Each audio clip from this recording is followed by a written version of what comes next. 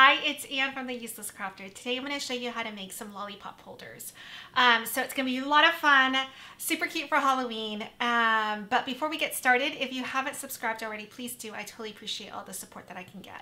All right, did you guys know? Well, you know my favorite glue is Bearly Art for all my cardstock projects. Um, but did you know that on their website, they actually have free SVG files. So the one that we're going to be looking at, so you're going to go into products and go to uh, see all SVG files. And I don't know if I can actually search for it, but let's see if we can find it. It's actually the, it's a boba. Oh, it is there. So I thought it would be cute.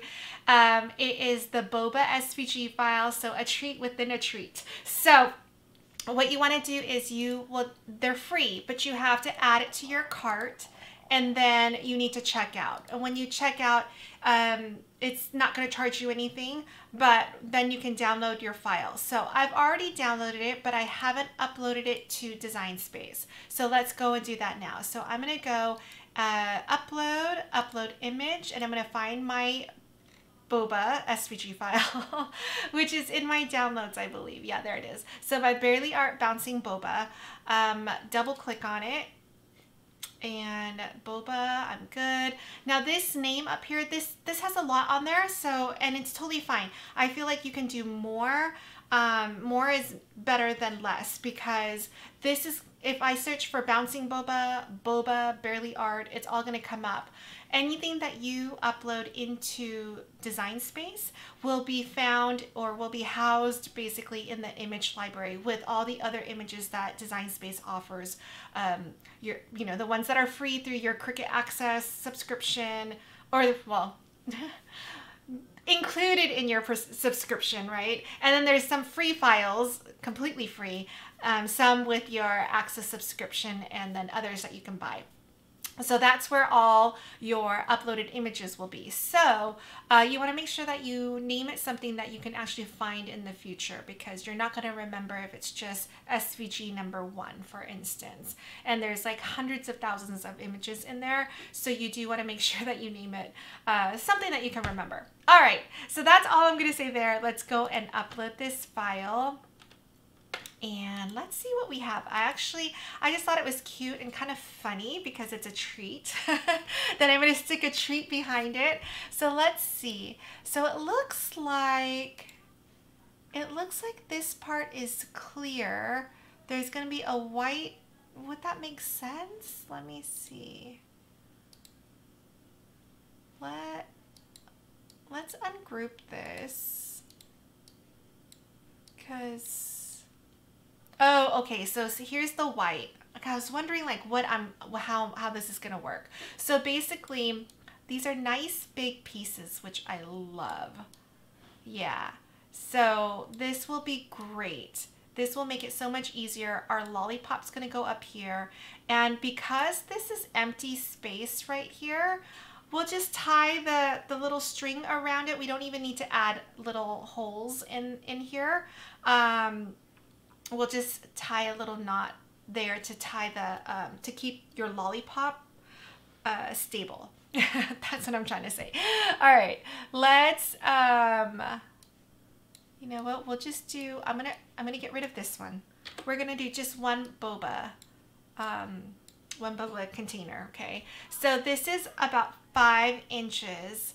Um, and we can, you know what, we can keep it the lollipop that I have been using, they're about 4 inches, 4.25 inches. So the lollipop stick will be behind here and will be completely enclosed right here. So I'm wondering if let's make this, um, you know, because everything's kind of, we don't have any small pieces. So let's make this 4 inches. All right, and then what we're going to do is, uh, let's go to shapes and we'll grab this little square and let's unlock it. Um, let's make this about, let's make it one inch and that's going to be the bottom. So if you look at this, the little Hello Kitty, there is a lollipop inside and this is the bottom that we're adding. So that, that way your lollipop has a place, like it's just a, a great placeholder basically. And we're going to wrap it up like this. So the lollipop's gonna be in between And we're basically gonna fold up one boba on this side, another boba drink on this side. So um, let's make this one inch and make it um, 1.25 inches long, okay? And I think that's gonna look really good right there in the middle. And then what we'll do is we'll grab this whole thing and duplicate it. And then we're gonna arrange, or not arrange, I'm sorry, flip. Flip it vertically because we want it upside down and we're basically gonna attach it right here. So now what we're gonna do is let's grab this whole thing and group it together and we'll grab this whole thing and group it together. And the reason why I want to do that is I want to align all three items and we're to align it and we're just to center it horizontally. So it's to be right in the middle, all even, so that when we fold this, it folds up and it meets each other. okay, so now that we have all these pieces, what you want to do then is our most back piece is the white piece, right? So I'm to grab the white and let's grab, hit the shift key, grab this white. So we've we've grabbed both whites and the square and we're going to weld it together. That's going to be our backmost piece that folds up together and that is white. So let me go and change it to white and we will arrange it and send it to the back.